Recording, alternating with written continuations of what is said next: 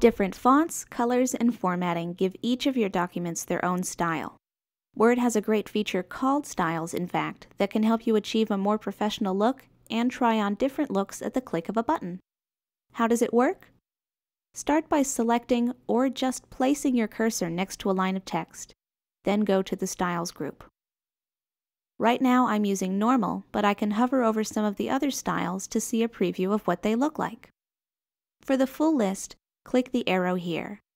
And this being the title of my document, I really think title looks the best. For the next line of text, I'm going to use subtitle. And last, I'd like to choose a heading. Let's go with heading 1. I think this looks great, but believe it or not, there's more than one style set to choose from. This is just the default. Each style set contains a unique combination of titles, headings, and text that you can change to and from instantly. Just go to Change Styles, Style Set, and mouse over each one to see what they look like. How about Elegant? I really do like this, but I think the title's a little too big. It's getting covered up by the picture on the right. To modify a style, all you have to do is find it in the Styles group, right-click, then Modify.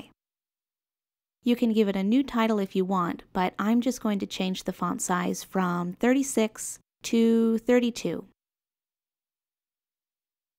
Perfect. You can also create a new style from scratch. How about a new heading? Just click the tiny arrow here, the New Style button at the bottom, then enter a name for your style. You can choose any formatting you like. I'm going to go with a new font, size, bold, and this light brown. Click OK, close this, and not only is it applied to your document, it's in the list of styles too.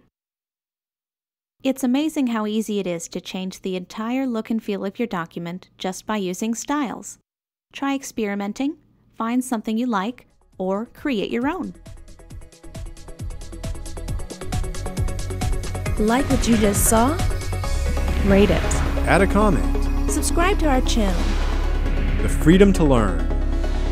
What you want, when you want. Absolutely free. GCF learnfree.org.